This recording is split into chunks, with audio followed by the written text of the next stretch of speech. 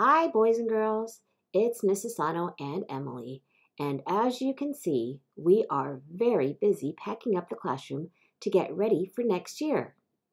So, since we are diligently packing and cleaning right now, I asked one of my friends to help with today's reading workshop lesson. Good eye, mates. Can you see me? I know I look a lot like seaweed, but I'm actually a leafy sea dragon. My name's Dave, and I live off the coast of Australia. We love it here because there are lots of seaweed beds for us to live in.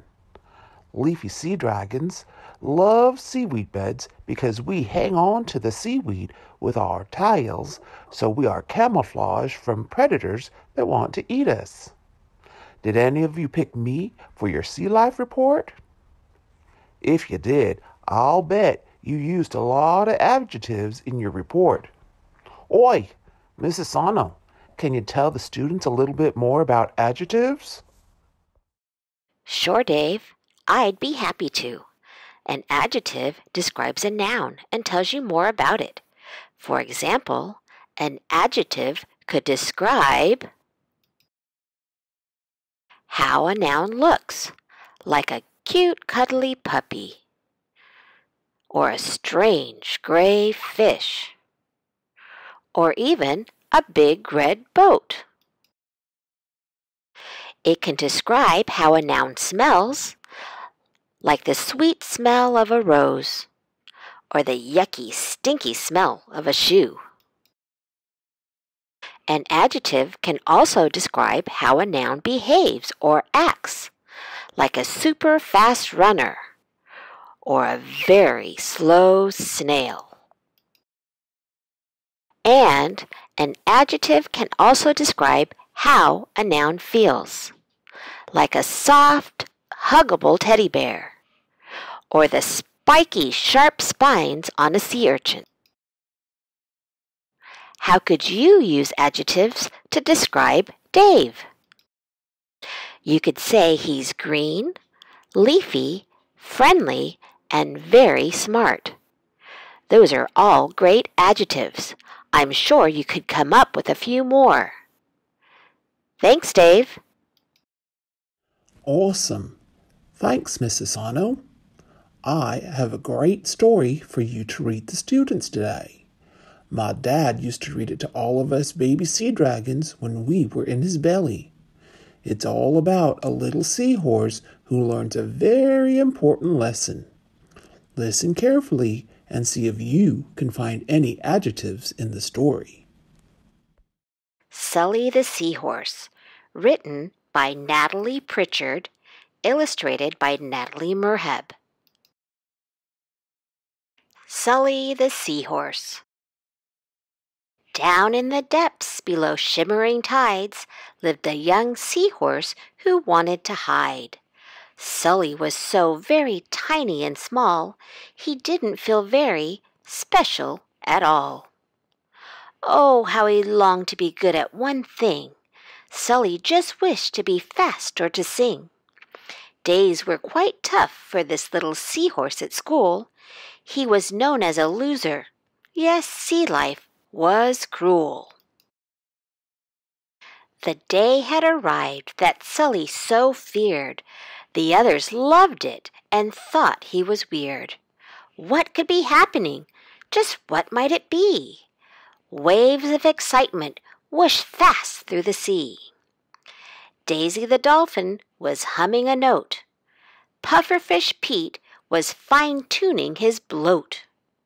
Practicing dancing moves and tuning guitars, it was the annual games called Sea School Stars. The contest starts soon, reminded Miss Trout. Sully felt worried and started to shout. Do I have to take part, miss? Please say no. Yes, she replied, you should give it a go. Went the horn. Can you please get in place? Miss Trout said, Time for the swimmer's big race. Sully cried, No, I'm going to lose. Daisy just laughed and looked very amused. On your marks, ready, get set, go! Sully set off, but he was moving so slow. Susie the swordfish shot into the lead, but ouch! Her long bill got caught in seaweed. Wilbur the whale was the first past the post. Ha! I'm the winner! He started to boast. Sully so wished to be swift like the whales, with big white flippers and super strong tails. I'm not special. I'm just not that fast. And yes, you guessed it, poor Sully came last. Daisy, of course, won the singing cup match. Her notes were so piercing, some turtle eggs hatched. Ollie was crowned Magician of the Year. Sully wished he could make shells disappear. Then it was time for the dancing contest. Miss Trout said, Please, can you just do your best? Sully decided to give it a try. He took a deep breath and tried not to cry.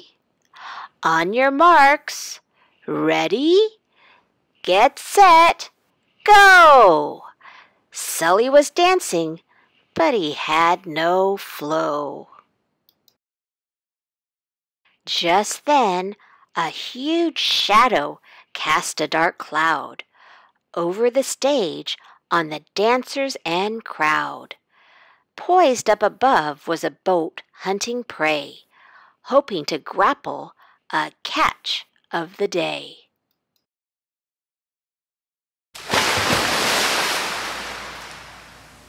Splash went the diver deep down into the sea, aiming to catch a young seahorse or three. These tiny creatures are wanted as pets. Watch out, little Sully.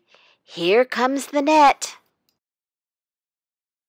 Closer and closer the diver did swim, heading for Sully, whose chances were slim. Then something quite simply stunning took place, better than singing or winning a race. Sully changed color before their shocked eyes. Swordfish and dolphin just stared in surprise. On your marks, ready, get set, go! But this time Sully wasn't so slow. As quick as a flash, his armor changed shade. He started to blend with the background and fade. Sully had camouflaged and turned a pale green. He hid in sea reeds and couldn't be seen. The diver gave up. He paddled away, back to the boat with no catch for the day. Sully came out when it was safe and clear. All the sea creatures let out a big cheer. He took center stage. They looked on in awe. Master of camouflage, encore, encore!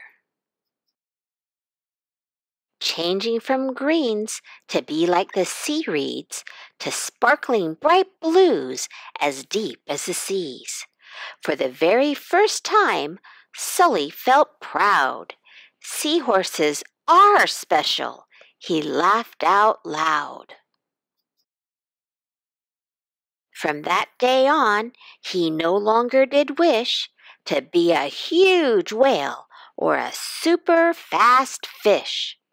Sully was special. He wasn't so weak. Plus, he never lost at hide and seek. Please don't think you should win all the time. Just give your best and you'll sparkle and shine. We're all special in our own unique way. Believe in yourself. You will be okay. Don't be afraid to stand out from the crowd. You are amazing. Stand tall and be proud. On your marks. Ready? Get set. Go!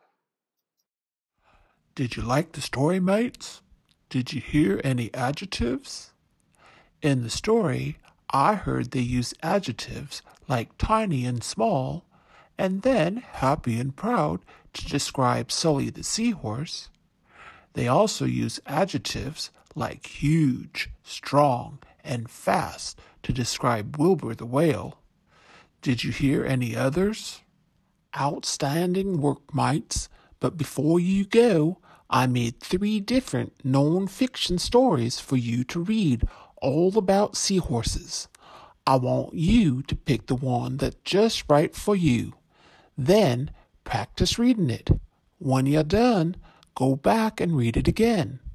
Then go and underline all the adjectives in the story.